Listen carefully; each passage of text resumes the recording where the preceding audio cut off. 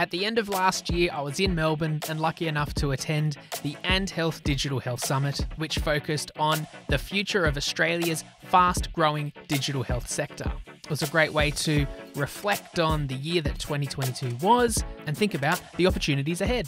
During the event, I got to speak to four speakers who appeared on the stage at different points throughout the day, who'll be featuring in this podcast episode for you today. First up today on the show, I speak to healthcare investor, entrepreneur, and strategist from the US, Lisa Suennen, talking about how digital health has evolved over the years and how health tech companies can get buy in from venture capital firms. Then I speak to Elizabeth Koff, managing director at Telstra Health, about what the dynamic is of digital health post COVID and how we sustain this change following the pandemic. Then I speak to Luke Renehan, CEO and founder of VaxApp, about health tech startups and the importance of buying Australian made for healthcare procurement teams. Then I speak to Dr. Brandon Carp about how it's not just okay for clinicians to be an entrepreneur, but why we need more clinical entrepreneurs in the Australian healthcare system. So here it is collaboration starts with a conversation, Team Health Tech. Let's make it happen. This is Talking Health Tech with me, Peter Birch, featuring content and community about technology in healthcare. Hi, I'm Lisa Suennen. I'm a longtime healthcare investor, entrepreneur, and strategist. And I'm currently uh, both president of uh, digital and data solutions at Canary Medical, but I'm also still advisor and, and leader at several venture funds. Amazing. Visiting Australia? I'm visiting Australia from San Francisco.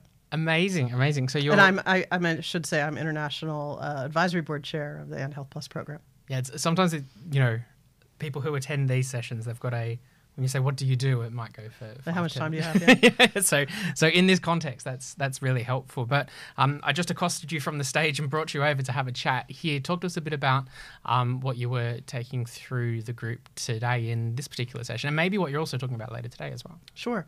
So I was really talking about how digital health has evolved since its early days in the early 2000s, mid 2000s to now, and how it is, you know, kind of following the classical Gartner hype cycle curve, Ah, yes. uh, where it's, you know, peaked and now is coming down the uh, the other side of the curve. Um, Wait, where, what stage are we at now? Then? they're cl- heading towards the trough of disillusionment, if you ask me. Good start to the day then. But I think, you know, it's also a, a time for us to evaluate how we go about, you know, building these companies Mm. because there are still some great opportunities. And I think there's still a tremendous amount of opportunity ahead of us. But we have to get through, you know, the down cycle and get rid of the excess Yeah. and um, and think about products and services that have more impact than maybe some of the companies have had. Got it. So we're at this kind of almost a a shakeout stage where those important parts kind of start to lift through a little bit more. And so, so wh- where are some of those key priorities and focus areas that you think that organizations should be focusing on? Hmm. I think they need to be focusing more on uh, better use of the data to make a difference. Yes. Not just availability of lots of data, Yeah. but how do you use it to make a real difference, um, both on the clinical side and the economic side. I think we're, we're at a time when we need to be focusing on how we make care access and, and the delivery of care to patients less disaggregated. I mean, we've really kind of pulled it apart, you know, between virtual care and very specialized care and, you know, all sorts of, you go here for this digital therapeutic and that session and that care for this. And it's too complex for patients. And I think we need to have ways to bring that back together to make it simpler. Yes. Um, and I think there's also a lot to be done in making digital health meaningful for pharma and medtech in a meaningful, you know, in a meaningful and uh, true business ad, not a just a sort of sideshow. Um, so there's a lot of opportunities there as well. I caught something that you said during, uh, I think during the Q and A, and it was uh, about time mm. and expectations around time. How do you mm-hmm. think about that for for digital health organizations? Well, it's funny, you know, people think about venture-backed companies generally in healthcare, mm. and healthcare specifically, is taking years to materialize and mature for they're ready really to exit. It's very different than tech. Yeah. when digital health started, you know, bubbling up in a big way in the last five years or so, mm. uh, I think people made a mistaken assumption that it would be more like tech than like healthcare. Yes. That it would take five years, you know, and the company would be fine, and we all, you know, roll around in the money Ten that we realize. and yeah, yeah. Well, the truth of the matter is, it takes eight to ten years in healthcare, and sometimes mm. more. You know, there's healthcare companies that I invested in that are, you know, 15 years on and still not exited. Mm. They're good companies, but they're not ready. Yeah. And I think we need to think about these companies as healthcare companies that use technology as opposed to tech companies that happen to be in healthcare. Mm. Got it. That's a, a good way to think about it, particularly for the expectations on both sides, for those organizations speaking to VCs in the first place and getting that buy in, but then also from the, the VC side, understanding health and, um, and working through with those founders. Uh, and then you coming from uh, the US, looking into Australia and doing a bit of a, a, a junket to it. And as you mentioned Yeah. too, I'm involved internationally um, generally with investment. How do you find looking at the two markets? You know, what um, perhaps Australia could be uh, learning from the US or, or vice versa? Wh- What should Australia be doubling down on that we do really well here that potentially other markets don't? Well, it's a very impressive entrepreneurial environment here. You know, there's a lot of energy, it's a lot of entrepreneurship, there's a lot of interest in health, and that's great. You know, I think there's an expectation here that you must come to the U.S. to make it a good company, and I don't think that's correct. I think it's hard to come to the U.S. Uh, very hard, and that the market here is quite different, and the products are designed for this market. Mm. They're not designed generally for the U.S. market, and so you have to make pretty fundamental changes a lot of the time. Yeah. So I encourage, often encourage companies, not always, but I often encourage companies to think about other markets first than the U.S. I mean, mm. there's a lot more similarity in some of the markets in Europe, for instance, or Singapore or whatever. Yeah. Um, that having been said, you know, there certainly are opportunities, but you have to remember that there's an awful lot of businesses already in the U.S. and m- most of them, you know, most of the things I've seen from Australia, not all, but most, there's a corollary company or five or ten in the U.S. And so to make the leap, you have to really make a good case for why yours is better than the local homegrown stuff because there's sort of a, you know, the usual default to preferring something local, right? Yeah. And um, that can be difficult. Yes. I hear organizations or, or um, you know, looking at a strategy when taking a global perspective, looking at Australia as a great market to demonstrate the capability, but then use that to then scale into other areas. But exactly like you said, a solution that's built for Australians, particularly in healthcare, might need to change significantly to go into different markets. There's different regulations, different kind of payer systems yeah. as well. It's um, not as easy as kind of do it once Right. and then stamp it multiple Right, places right, around the yeah. world. Got it. Lastly, then thinking about as we move into this next stage of that that hype cycle, then what's what? How can what kind of attitude, what kind of things can can those working in the space take into it to make the most of it and come through the other side? Well, I think, you know, first of all, you got to, if you're an entrepreneur, you've got to really understand the problem you're solving. Mm. If it's actually a problem, Yes. first of all, and who has it, and what motivates them to fix it, and what would they pay for that, and really dig into that. You know, I think too, all too often entrepreneurs, not just here or any or in the U.S. is the same problem. You know, don't spend enough time really categorizing or qualifying their the problem solving they can undertake Yes. really understanding the motivations of the marketplace individually like talk to 50 customers you know uh, or pros- prospective customers really understand and if they say i will never buy this believe it you know um, or if they say i would buy this but you would have to do xyz believe that too you know Yes. really take it in. Um, i think entrepreneurs take too little time proving their the return on investment of their proposition. That should be done quite early and it's hard and it's expensive yes but it has to be done or you can't survive. And I think, you know, plan for the long term hill that you have to climb, you know, and don't overspend, be capital efficient to the extent possible. It's going to be a tough two years for companies to raise money, at least. Mm. And so being very, very thoughtful about spending, you know, buy the one ply toilet paper, you know. Spend like it um, takes a long time. I think exactly You, said as well. Yeah. you know and really really think about that and also thinking about not just growth but profitability as a, as a key Yes. milestone right you may not know when it's coming but you should be heading towards it you Yeah. know trying and i think you know those are the things that any company in any market should be thinking about right now mm. Elizabeth Koff, Managing Director of Telstra Health. Thanks for joining, Elizabeth. And uh, I've, I've managed to, to grab you from off the stage and uh, from a, a panel. There was a lot of people up on that stage, and I think the term was rock stars that Gavin used, who was moderating the session. But the, talk to me a bit about the panel session that you were participating in today. The it was very flattering to be called a rock star panel, I must admit, in the scheme of things. But it was really highlighting uh, the people who soldiered on through COVID because I think COVID was a, really an inflection point for health systems and the digital agenda um, that we'll never experience again.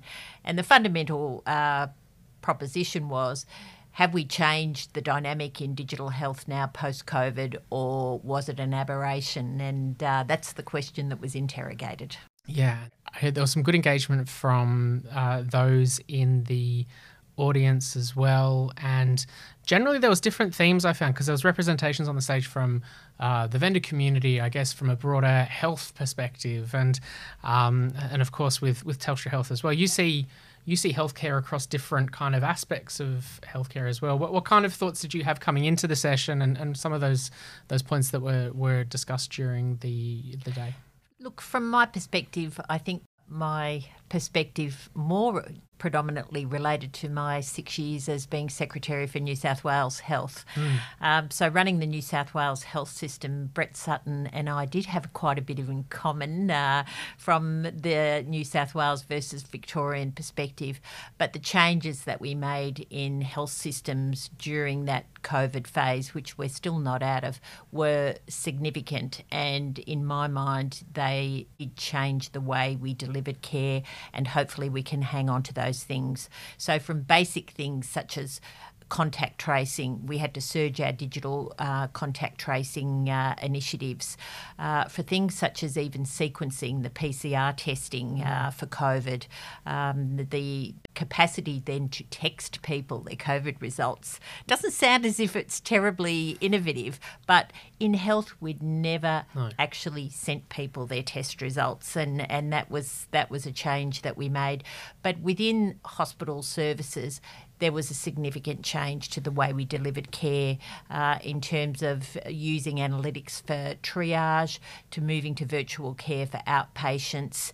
And in terms of managing our vulnerable population groups, we had so much data available to be able to identify who was high risk, what the vulnerable populations might be, and to make really timely, targeted interventions for those population groups. And not to mention the last thing, vaccination rollout. Um, we we really deployed digital means for for vaccination rollout, even from the perspective of digital appointments to turning up to tracking vaccination rates in certain population groups, and from the customer insights to who was vaccine hesitant. Uh, so it really was an end-to-end process for managing of the pandemic that had very strong component parts of digital enablement through it. Some great examples there.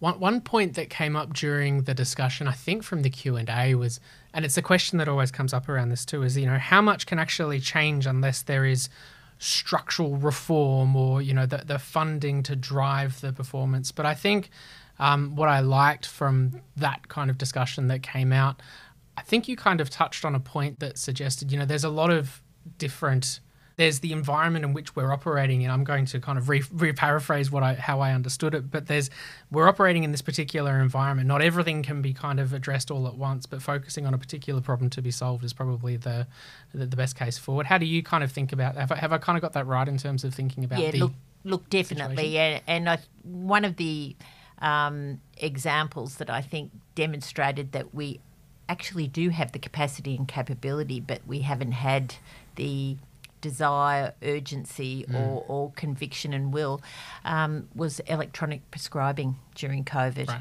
Um, Telstra Health actually has uh, Fred, um, which has the electronic script exchange, and as it is reported to me, a late ministerial call on a Friday afternoon said, Do you think we might be able to get the electronic script exchange active by Monday morning? Um, and the team said, uh, Sure, it was not without a lot of effort uh, and intense work. But, you know, the fact that that was there available, able to be mobilised, demonstrates in my mind that we do have a lot of technical know how, uh, but we just haven't had that urgency to implement and go forward. Part of that also too is having spent many years in health, we do have a lot of uh, risk aversion, understandably. Um, that you know, digital health solutions clinical safety and patient uh, safety is absolutely paramount. And sometimes I think we just wait too long to get something that's 100% perfect um, that gets in the way of good. Yeah, that's right. Getting in the way of good. That's such a good a good point. And I think that was the, the sentiment too. I got from that session was um, uh, from another panelist who mentioned that in healthcare generally we're quite good at finding the things that might potentially go wrong before even jumping in and having a go. When obviously important to keep in into consideration those security and, and patient risk points, but there's there's got to be a balance. I guess to perhaps reframe some of those points and and lastly to to someone who might be thinking about trying to to make an impact in healthcare, whether it from a startup phase or, or frontline clinician, but might be feeling like there's you know we've gone through this big rush of the the COVID push, but now feels like things might be slowing down, or how do we kind of drive things forward? Taking some of those points you've reflected on this session, how might someone you know think their way through these next steps to keep making a change? Look, I think critically, the policy environment is what I call ambiguous at the moment. Mm. There's so many moving pieces in health policy at the moment with a new government coming in. But when you look at the Medicare Action Group and, and how primary care operates, I think there'll be significant digital opportunities in that space. Um, also, with the aged care reform, uh, there's going to be significant changes in that space. It's moving very, very slowly, but the government definitely seems to have an appetite um, to to start I guess incorporating digital components as fundamental to a reform agenda. The, the advice for people who are in the digital space, though, um, you may think you have the best solution, but you've really got to think it through. Is there going to be market demand for mm. that? Because the best solution in the world will not be successful if there's not a market demand for it. Um, and obviously, uh, the necessary and prerequisite investment, which is where ANDHealth is so wonderful wonderful. My name is Luke. I'm, I'm founder and, uh, and CEO of uh, VaxApp, an immunization management platform that enables uh, workplace health providers, uh, pharmacies, and public health services like local governments or, or, public health units to vaccinate more people in less time with less cost mm-hmm. Uh, and ultimately improve patient outcomes, whether that's vaccination uptake or uh, accessibility for, for patients to vaccines. Um, that's our, our, our, real focus. Yeah, so. super. You were up on stage at the ANDHealth event today, and talk to me a bit about the session that you were participating in participating in a session uh, around the importance of buying uh, really Australian Australian made and really capturing Australian innovation for Australians. Mm. Uh, we've uh, at VaxApp we've developed um, the first of its kind in, in the world, an immunization eligibility engine that automates the suggestion of what vaccines uh, a patient is eligible to receive mm-hmm. and when they can have those throughout their entire life. So we prompt the uptake of additional vaccines that the, the person isn't necessarily aware that they can have. Um, for example, with, with one of our, our clients, uh, we've doubled the uptake of meningococcal B vaccinations in their Aboriginal and Torres Strait Islander community, which is a, a great patient outcome improvement, mm. essentially really exploring, I, I, think, more the government side of things, mm. both at state and federal, and for us with our, our kind of clients, uh, also at a local government level, and the importance of, uh, I guess, government and public health services being a, uh, I heard a, a number today around 70% of the, the funding or the spend in, in health is uh, from government and the importance from i guess a government perspective around um, when they talk about innovation and grants or whether it's r&d tax credits uh, or we talk about the wider investor uh, ecosystem that we mm. have in australia the best way to actually invest in australian digital health and, and innovation is actually to procure it yeah. Uh, and that's what really creates that sustainable revenue streams um, for Australian digital health companies and the ability for us to um, really be at the forefront of global digital health. Um, I think as well, some some themes that I took out of the conversation I heard today was, you know, it can be from a procurement's perspective, they might go through. This is a very broad kind of suggestion, but to say, well, we looked around and we couldn't find anything, so we've gone overseas to get something else. But there's a lot of um, activated and engaged uh, vendors in Australia that have the opportunity to employ more Australians and to deliver the work for Australian the Australian healthcare system, if there was better engagement with those providers or the buyers, or perhaps a more collaborative approach towards solving some of the problems, as opposed to kind of looking from the outside saying, well, it doesn't look like they do it. Let's go overseas and kind of solve it. Does do you think perhaps having better enga- engagement between the customers and the the creators of the the technology will help us get a lot further to you know having Australians creating stuff for Australians? I definitely hope so. uh, one of the things we've definitely seen in the vaccination uh, space is um, whether it's something where I guess government is looking to, to custom build and they often look towards um, large overseas tech brands. Mm. That that saying that you know I've heard time and time again from from people in the industry is you don't get fired for hiring IBM, for Right. example, regardless of whether the, the, the custom build or project ends up uh, eventuating to Yeah. uh, a platform that provides you know the intended value um, or, or any value. An example: a, state government has spent uh, over forty million dollars on immunization management platform custom builds um, just in the last five years. Uh, Thirty-three million of that was with uh, a a Microsoft platform. Um, most recently, just this year, uh, fifteen million dollars that uh, it didn't even go through uh, or to tender to even Mm. be open to the Australian, uh, I guess, digital health market to even show how they could support. Um, that was something that uh, is really trying to custom build something that already exists here in, Yeah. in And so, lastly, then Luke, thinking about then for as we move into the new year for VaxApp, and you know, with all these, you know, through the pandemic and moving into this kind of new area, what can we look forward to seeing from VaxApp in 2023 and beyond? Great question, Pete. Uh, VaxApp's really evolving to become uh, a complete preventative health management platform. So, extending beyond vaccinations and really looking at how we can better support our, our pharmacy and workplace health provider uh, clients in terms of areas like health assessments, um, whether that's uh, leveraging some of the, the latest Australian uh, digital health products like hearing screening. Uh, for, for example, there's a, a fantastic company called uh, Sound Scouts um, that uh, is doing some some incredible things in in the hearing space. So really supporting our, our pharmacy and workplace health clients with other types of preventative health services or products that they can offer.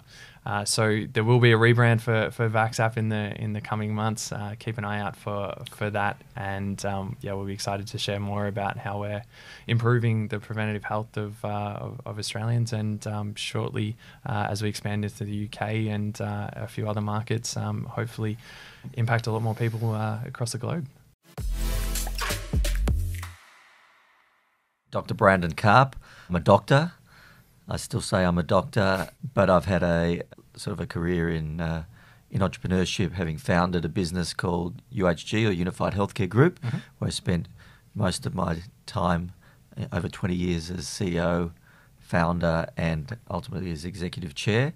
And since that time, and even during that time, I've uh, founded and been involved in a number of other healthcare businesses, both those for profit and those not for profit as well, like Murdoch Children's Research Institute. Got it. So well placed to moderate this session that you had today. Talk to us a bit about uh, the session that you were you were running today at this ANDHealth event. Yeah, the session was really about uh, clinical entrepreneurs, those people who've come from uh, a background of being a clinician, whether it was a doctor or an allied health professional, uh, and their journeys to entrepreneurship and, and founding businesses. And there was, you know, a, a diverse group, those that had been allied professionals, those that had been doctors, um, those that started virtually straight out of their degrees, and a, a gentleman who'd started his entrepreneurial journey in his early 50s. So a really diverse group. Um, but I think the key message was that, you know, clinicians are well placed to uh, to be entrepreneurs, well placed to solve problems and identify opportunities in healthcare, being at the coalface.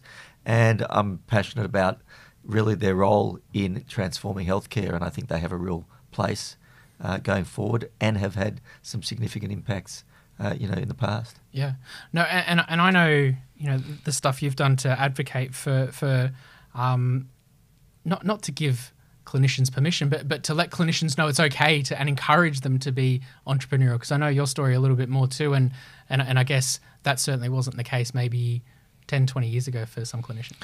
Yeah, look, certainly uh, when I started my entrepreneurial journey, um, I was training to be a dermatologist partway through in my early 30s, just married, and decided to, you know, slide into a moment, start a business. Uh, I did continue as a clinician for over 10 years, but, you know, giving away a dermatology training position at the time was, was seemed like madness. Mm. Uh, there was no real pathway for entrepreneurship. There was a, not really a lot of role models for what I'd done. Um, fast forward today, you know, we've got the Australian Clinical Entrepreneur Program that was recently launched, uh, set up by um, MTP Connect or funded by MTP Connect and driven by Melbourne University and University WA. Mm. And, you know, it, it's applauded now for doctors and other clinicians to use their talents to improve healthcare through entrepreneurship and to have impact at scale rather than one by one.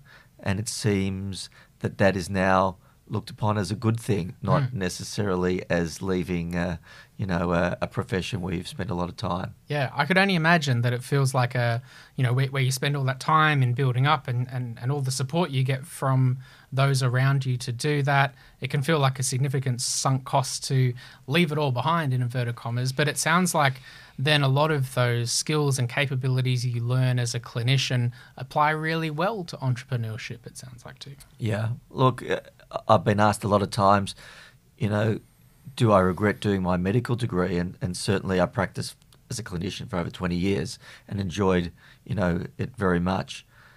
But I wouldn't have got to the role that I had in entrepreneurship had I not been a clinician. Everything that I did really um, was identifying problems and opportunities from being a doctor and seeing patients and understanding the health system and understanding providers and the payer model.